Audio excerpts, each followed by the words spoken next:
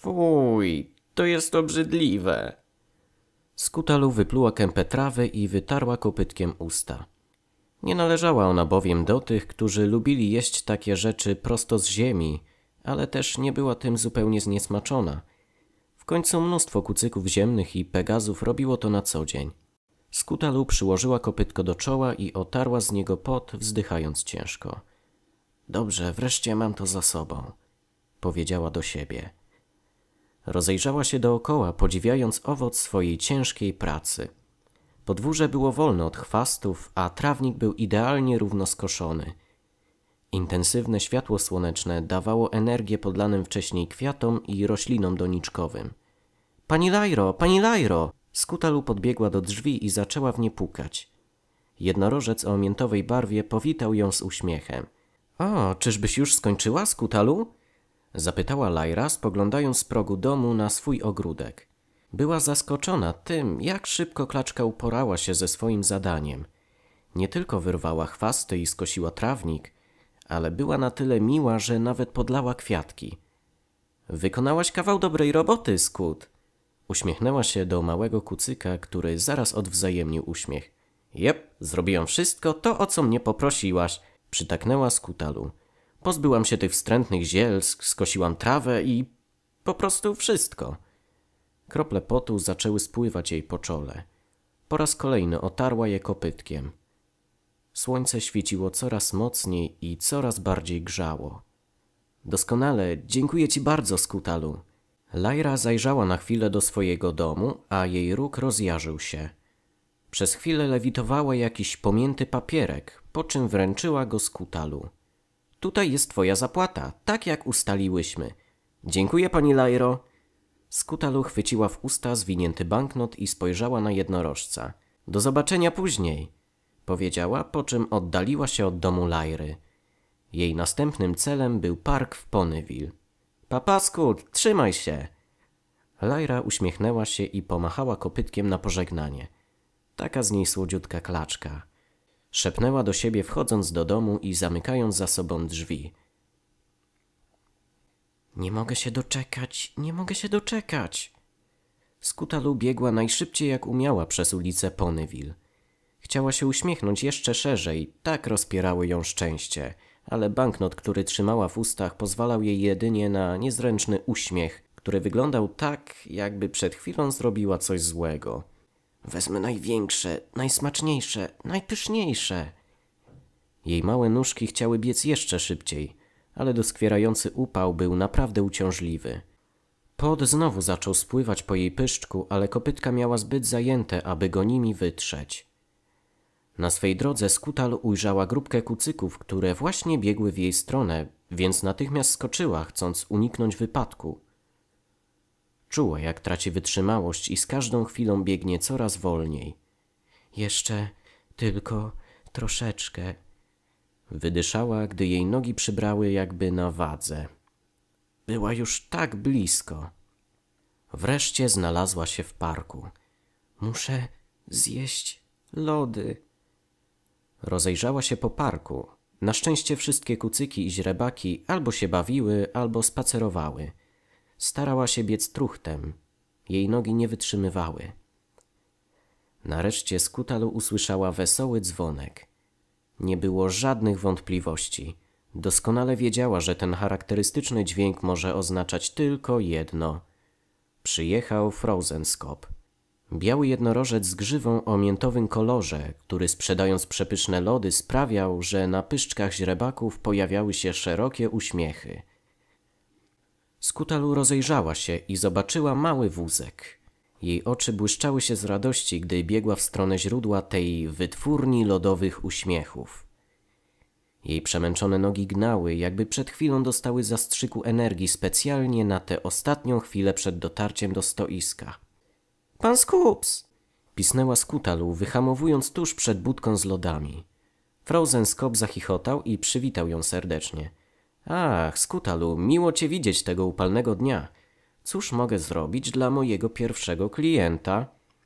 Skutalu położyła pieniądze na podstawce, po czym skupiła swój wzrok na towarze. Poproszę lody, duże waniliowe lody. Marzyłam o nich od samego rana. Oczywiście, poczekaj chwilę. Skup, lewitując rożek lodowy, otworzył jeden ze swych pojemników. Oprócz zimnej pary, ze środka wydostały się zapachy smakowitych lodów, jakie miał do zaoferowania. Nie tylko wanilii, ale także truskawki, czekolady, cytryny, kokosu i wszystkiego, o co tylko by się poprosiło. Zaczął lewitować srebrną łyżkę, którą nałożył dużą porcję lodów waniliowych do rożka. Proszę panienko. Ogier podał skutalu lody. Klaczka wzięła je od sprzedawcy, po czym zaczęła się im przyglądać. Spojrzała na tę kremową konsystencję waniliowego smakołyku, który powoli topił się w słońcu. W ciągu zaledwie kilku sekund zostanie poddany degustacji.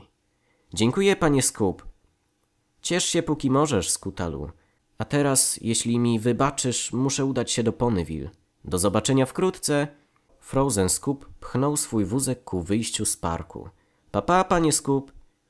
Skutalu odwróciła się, skupiając wzrok z powrotem na lodach. Nareszcie. Cała moja ciężka praca włożona w wyrywanie chwastów i koszenie trawy opłaciła się. Wbiła swój wzrok w lodową gałkę. Lody o tak wspaniałym smaku na naprawdę upalny dzień. Klacz nie miała zamiaru tak stać i jeść. Jej upragnione lody mogły zostać zjedzone jedynie na ławce w parku. Na szczęście jedna z nich stała właśnie za nią. No to chodźmy i... Skutalu odwróciła się, nawet nie wiedząc do czego może to doprowadzić. Obróciła się tak szybko, że potknęła się i straciła równowagę oraz panowanie nad swoim przysmakiem. Nie była w stanie zareagować. Wszystko działo się zbyt szybko. Poczuła tylko, jak coś wypada z jej kopytka. Spojrzała na swe nogi. Miała nadzieję, że nadal trzyma lody. Jej obawy potwierdziły się, gdy tylko spojrzała na ziemię, gdzie zobaczyła coś strasznego. Lody, na które tak ciężko pracowała, leżały teraz rozkwaszone na płycie chodnikowej. Skutalu nie wiedziała, co robić. Jej umysł nie był w stanie pojąć tego, co właśnie się wydarzyło. Chciała coś powiedzieć, ale wielka gula, którą miała w gardle, uniemożliwiła jej to. Chętnie zaczęłaby krzyczeć, wrzeszczeć, wierzgać, ale nie była w stanie tego zrobić. Nie ruszała się. Nadal przypatrywała się swoim zmarnowanym lodom. Łzy zaczęły napływać jej do oczu. Jedna nawet spłynęła po policzku, ale Skutalu nawet tego nie poczuła. Ona nawet nie czuła już tego doskwierającego upału. Jej życie jakby stanęło w miejscu. Ale nuda! Mruknęła Rainbow Dash, patrząc na Ponyville z góry. Przelatywanie nad miasteczkiem stało się jej codzienną rutyną, ale fakt, że odkąd tylko rozpoczęła dziś swój lot, nie wydarzyło się nic interesującego. Strasznie ją drażnił. Ach, jaka szkoda, że nie mam nic ciekawego do roboty. Właśnie przelatywała nad parkiem, gdzie dostrzegła znajomy pyszczek. Hej, czy to czasem nie... Rainbow zwolniła i zaczęła powoli opadać na ziemię. Wylądowała w pobliżu znajomego kucyka. Skutalu siedziała na ławce i zakrywając pyszczek kopytkami płakała. Mała kałuża łez utworzyła się pod jej nogami. Cześć dzieciaku, co się dzieje? Gdy Skutalu tylko usłyszała ten znajomy głos, zaraz uniosła głowę. Rainbow? Hej, dlaczego płaczesz? Czy ktoś ukradł ci pieniądze na lunch? Rainbow podeszła do klaczy. Nigdy nie widziała jej tak smutnej, nawet po tym ostatnim incydencie w gazetce szkolnej. Skutalu w odpowiedzi zaczęła skomleć, ponownie zakrywając pysk kopytkami. No dalej, mała, co się stało? Rainbow pukała głowę klaczy. Jeśli będziesz tak płakać jak małe źrebie, to inni pomyślą, że jesteś mięczakiem. M moje lody. Skutalu pociągnęła nosem. Pokazała kopytkiem na miejsce, w którym upuściła lody. Większa ich część stopiła się pod wpływem ciepła.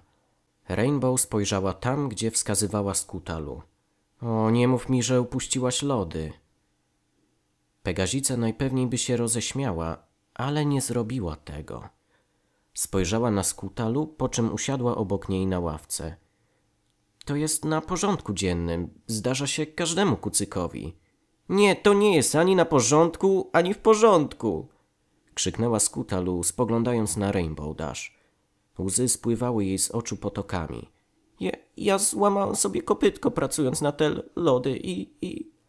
Jęknęła, zaciskając w złości zęby. Rzuciła się na Rainbow, przyciskając się do jej piersi. Ej, ej, uspokój się! Rainbow chwyciła ją za ramiona i odsunęła od siebie. To tylko lody, to nie koniec świata. Skutalu pociągnęła nosem. Oczywiście, łatwo było Rainbow tak powiedzieć. To nie jej lody spadły. Ale, ale... A co ty na to, żebym postawiła ci lody? Tylko obiecaj mi, że przestaniesz płakać, zgoda? Nie będę tolerować tego, że mój fan numer jeden to Beksa. Rainbow pochyliła się i skupiła swój wzrok na ziemi.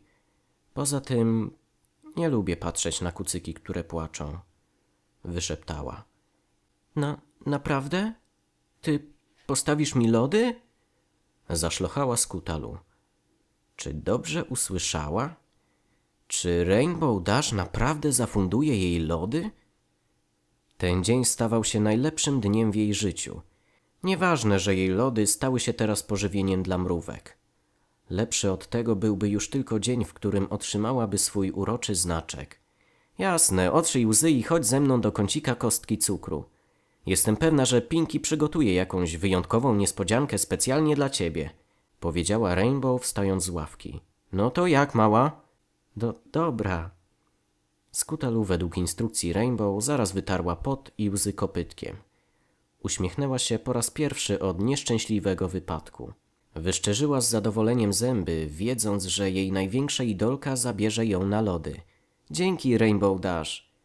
Przytuliła Pegazicę, która z początku przewróciła oczami, ale po chwili zmiękła i odwzajemniła uścisk. Jasne, jasne, teraz chodźmy.